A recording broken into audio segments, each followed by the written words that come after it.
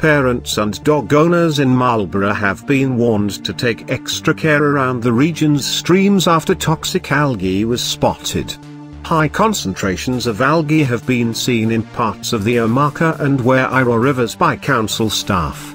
A Marlborough District Council statement said warning signs had been placed at some of the access points, but people needed to be aware the algae could be in other areas that had not been signposted.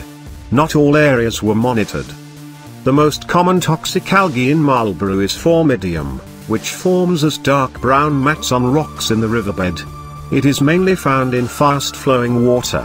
When the mats become very thick, they start to detach from the rocks and accumulate along the edges of the river, which is when they present the greatest risk to dogs and recreational water users.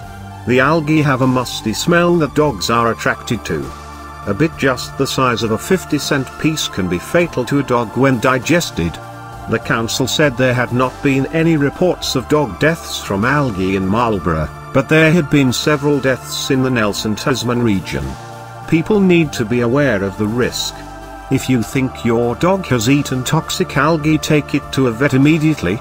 In humans, contact with toxic algae can cause vomiting, diarrhea and skin irritation. The council advised people to keep children and dogs away from the algae and avoid touching it or swimming near it.